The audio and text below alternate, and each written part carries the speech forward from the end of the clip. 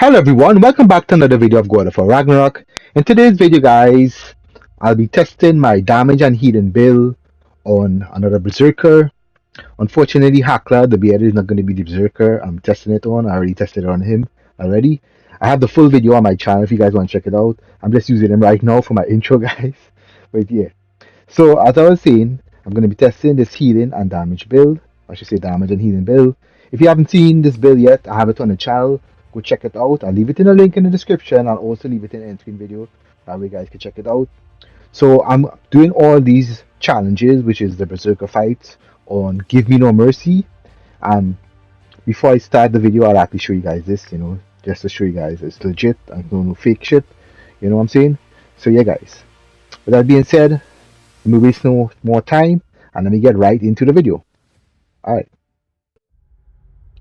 So as you can see there, go to my settings and show you guys, go to gameplay.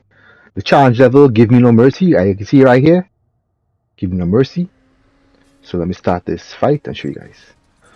So we're gonna be fighting another berserker today.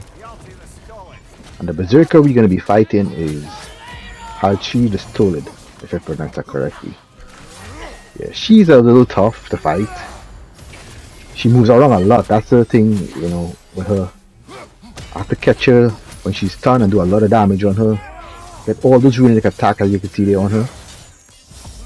Have to use all the runic attacks as soon as because she when she moves a lot you can also have a chance of not hitting her as I see there I get to do a lot of damage she moves also for my attack. So when I get the Valorous Blood Thirst and Raging Aftermath active, you know I want to do my weapon melee attacks on her, that will do a lot of damage as you can see there. Also you get interrupted here. Yeah, so she moves around a lot guys. She really moves around a lot. And you wanna catch her with those melee attacks, you know, when you're close.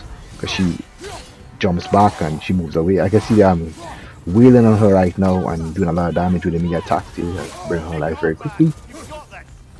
Fortunately she, moved away and I gotta dodge a little bit here. Also I'll be testing how much healing I'm doing. So I'm not really blocking too much guys. I'm going to be taking a lot of damage. So just to show you guys how much healing I'm getting back from it.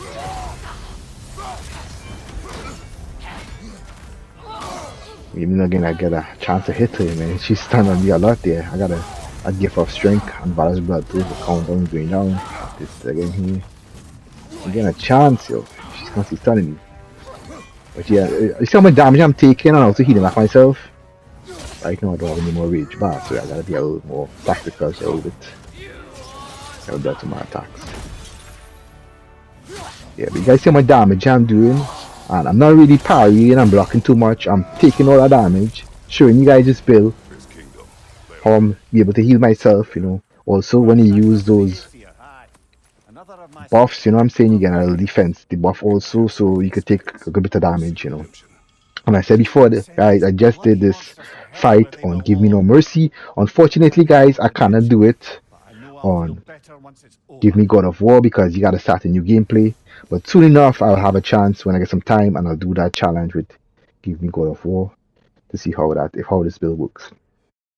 So yeah, guys. With that being said, I hope you guys enjoyed that little video. Give it a thumbs up.